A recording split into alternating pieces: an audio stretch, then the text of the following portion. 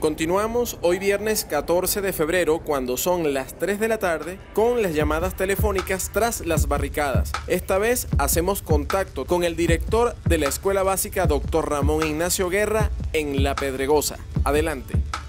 Escuela Ramón Ignacio Guerra hacemos un llamado a la comunidad estudiantil para que a partir de este día lunes se apersone a la institución ya para comenzar con nuestro proceso de reinicio del año escolar, de, o continuación del año escolar, ¿verdad?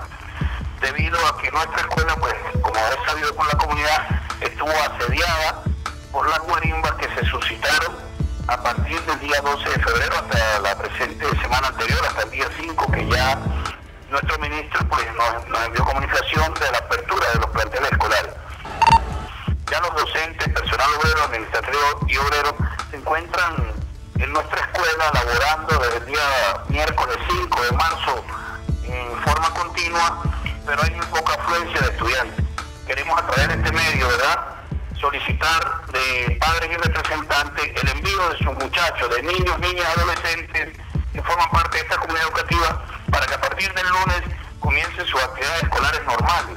Ya el, programa de alimentación escolar lo estaremos eh, iniciando desde este lunes para ir normalizando las actividades y, y todo, y todo pues volvamos con la paz que merecemos como, como país, como nación y hacer de esto una patria nueva, una patria buena. También para hacer ese llamado a los medios privados de que informen realmente a la comunidad que ya la guarimba se ahogó ella misma en, en su propio proceder y ya la gente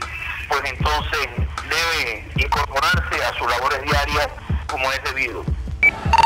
Y a toda la comunidad de La Pedregosa, de que ya la escuela pues tiene todos los servicios y estamos activados, ya pasó el asedio que teníamos y queremos de una u otra manera poder comenzar a partir de lunes con todos los muchachos aquí en nuestra institución las actividades escolares para finalizar con buen pie este año escolar. Muchas gracias.